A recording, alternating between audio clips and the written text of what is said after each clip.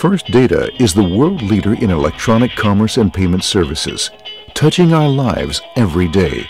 Um, even though First Data isn't a household word or a household brand, a brand you would recognize us by, Western Union, which is the largest money transfer company in the world, does business in 196 countries, and um, Telecheck, which is a guaranteed check service. So from a brand standpoint, that's how most people uh, would relate to First Data.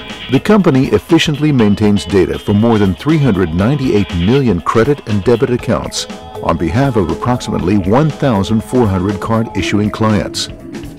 Being home to a global financial services company is advantageous to Colorado and to the Denver area in a number of ways. In addition to positioning Denver as a more financial hub, the presence and continued strength of First Data is helping to market Denver to other leading Fortune 500 companies.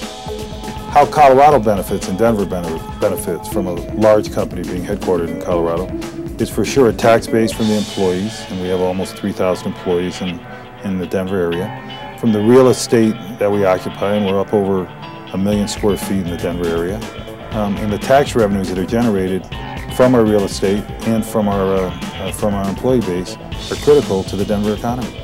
First Data believes in making the world a better place. In 2000, we established the Western Union Foundation.